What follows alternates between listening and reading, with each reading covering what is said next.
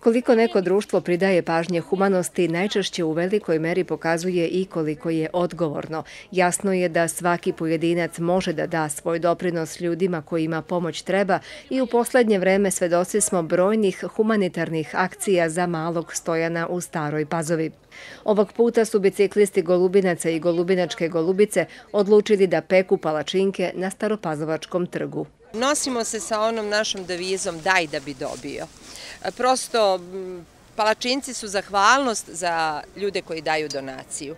Nemaju cenu i mogu vam reći onda lepo i ljudima koji doniraju svoj novac, lepo i nama i da će Bog da bude lepo i stojano. Želeli smo da pomognemo malom stojanu, a nama to ne znači ništa, a njemu znači mnogo.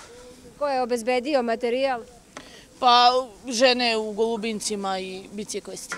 Ovakve akcije doprinose promeni svesti. Lepo je kada se pomaže drugima, a s tim se slažu i sugrađani. Humanitarna je, vidim da se narod baš trudi da pomogne ovom malom detu. Sad sam čula ovde i žao mi je deteta i daj Bože da se izvuče i koliko sam mogla ja sam dala. Ja sam čula i već sam dala i pomogla i dece su dala u školi i u prodavnici kad idem ja dajem svaki dan. Bez obzira na to što živimo u užurbanim vremenima, ova akcija je još jedan dokaz da ona humanost među ljudima i želja da se pomogne drugima još uvek među nama postoji.